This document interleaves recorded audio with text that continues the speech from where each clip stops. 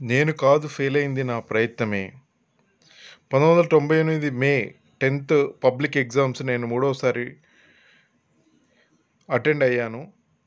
కానీ ఈసారి కూడా నేను ఫెయిల్ అయ్యాను. మా అన్నయ్య మరియు అమ్మ చాలా బాధపడ్డారు.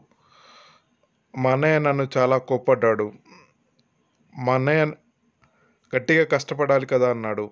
అమ్మ పాస్ అయితే బాగుండు కదా అని చాలా రోజంతా బాధపడింది. నేను లెక్కల్లో చాలా వీక్. లెక్కల బుక్ పడితే ఐదు నిమిషాలకే నిద్ర వచ్చేది. ఫెయిల్ అయినందుకు నాకు చాలా బాధగానే ఉంది.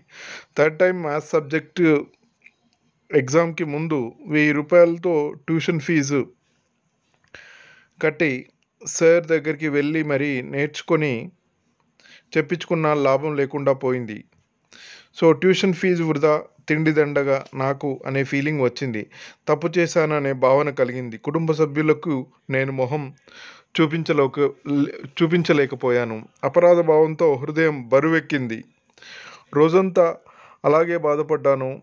నా బాధ చూడలేక అమ్మ బాధపడొద్దు బిడ్డ మళ్ళీ రాయి పాస్ అవుతావు బిడ్డ అని ప్రోత్సహించింది. ఎంతైనా తల్లి మనసు కదా. నాకు ఆ రాత్రి చాలా బాధతో సరిగ్గా నిద్రపట్టలేదు. రాత్రి అంతా ఆలోచించాను. చివరికి ఒక నిర్ణయానికి వచ్చాను. ఈ ఒక్కసారి ప్రయత్నిద్దాం. పాస్ అయితే హ్యాపీ లేదా మనకి చదువుకి ఇక కుదరదు అని. ఒక మ్యాథమెటిక్ గైడ్ కొనుక్కున్నాను. అందులో ప్రతి ప్రాబ్లమ్ని మూడు సార్లు చొప్పున ప్రాక్టీస్ చేసే ప్రయత్నంలో అలా చేస్తూ చేస్తూ మూడు వందల ప్రాబ్లమ్స్ని సాల్వ్ చేసే స్థాయికి వచ్చాను. నెక్స్ట్ ఎగ్జామ్కి మళ్ళీ ఫీజు కట్టాను. పంతొమ్మిది వందల తొంభై తొమ్మిది అక్టోబర్లో ఈసారి అరవై మూడు మార్కులతో పాస్ అయ్యాను. సో నాకు అర్థమైంది ఏంటంటే నేను కాదు ఫెయిల్ అయింది నా ప్రయత్నం మాత్రమే. సో ఫ్రెండ్స్ ఫెయిల్ అయినంత మాత్రాన ఒకటి రెండు మూడు సార్లు నాలుగు సార్లు పది సార్లు ఇరవై సార్లు ముప్పై సార్లు ఎన్నిసార్లు ఫెయిల్ అయినా అది కేవలం మన ప్రయత్నం మాత్రమే ఫెయిల్యూర్. ఇప్పుడు ఫర్ ఎగ్జాంపుల్ నా లైఫ్లోనే తీసుకుంటే నాకు ట్వంటీ ఇయర్స్ ఏజ్ నుంచి I want become a entrepreneur successful entrepreneur. నేను ఒక స్థాయి వరకు సక్సెస్ అయ్యాను కానీ ఇంకా పూర్తి స్థాయిలో సక్సెస్ అవ్వలేకపోయాను. నేను అనుకున్న రేంజ్ ఆఫ్ ఇన్కమ్ సోర్స్కి రీచ్ అయ్యలేకపోయాను నా టార్గెట్ని నేను ఇంకా ఫుల్ఫిల్ చేయలేకపోయాను. ఈ క్రమంలో నేను ఎంతో నేర్చుకుంటున్నాను ఎన్నో నేర్చుకున్నాను. ఒక్కొక్క ఫెయిల్యూర్ నుంచి ఒక్కొక్క రకమైన డిఫరెంట్ డిఫరెంట్ థింగ్స్ని నేర్చుకుంటున్నాను. నేర్చుకుంటూనే ఉండాలి. అలా నేర్చుకుంటూ నేర్చుకుంటూ ఏదో ఒక రోజు ఖచ్చితంగా మనం అనుకున్న గోల్ని ఖచ్చితంగా సక్సెస్ఫుల్గా రీచ్ అయ్యే ప్రయత్నం అయితే చేస్తూ ఉండాలి. ఖచ్చితంగా ఏదో ఒక రోజు మనం అనుకున్న గోల్ని ఖచ్చితంగా రీచ్ అయ్యే అవకాశం వస్తుంది. ఏదో ఒక డోర్ ఖచ్చితంగా తెలుసుకుంది. ఏదో ఒక మ్యాజిక్ అనేది ఖచ్చితంగా జరుగుతుంది మన లైఫ్లో కూడా. అది మనం నమ్మాలి. అందుకోసం ప్రయత్నం చేయాలి.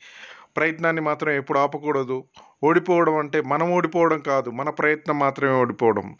That means you are not defeated your attempt was defeated so అలా మనం మన యొక్క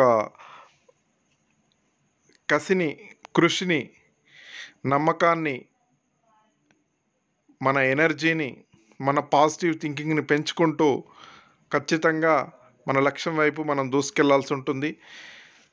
సో ఈ క్రమంలో మనకి చాలా అంటే మనల్ని చుట్టూ ఉన్న జనాలు వెక్కిరించవచ్చు. అవమానించవచ్చు అసహించుకోవచ్చు ఈసడించవచ్చు ఏమైనా జరగచ్చు ఏదైనా జరగచ్చు. సో మనం వాటిని పట్టించుకోకూడదు. మన లక్ష్యం ఏంటి? మన గోల్ ఏంటి? మనం ఎటువైపు వెళ్ళాలి? ఈసారి ఫెయిల్ అయ్యాం రెండోసారి ఫెయిల్ అయ్యాం. ఎన్నోసార్లు ఫెయిల్ అయినా సరే ఎన్నిసార్లు ఫెయిల్ అయినా సరే తొంభై తొమ్మిది సార్లే కాదు తొమ్మిది వందల తొంభై తొమ్మిది సార్లు ఫెయిల్ అయినా తొమ్మిది వేల తొమ్మిది వందల తొంభై తొమ్మిది సార్లు ఫెయిల్ అయినా అస్సలు మనం నిరాశపడొద్దు.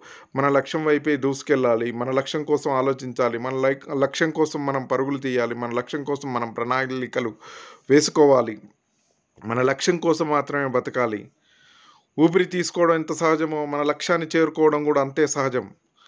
కానీ ఆ సహజానికి కూడా చాలా కష్టం ఉంటుంది.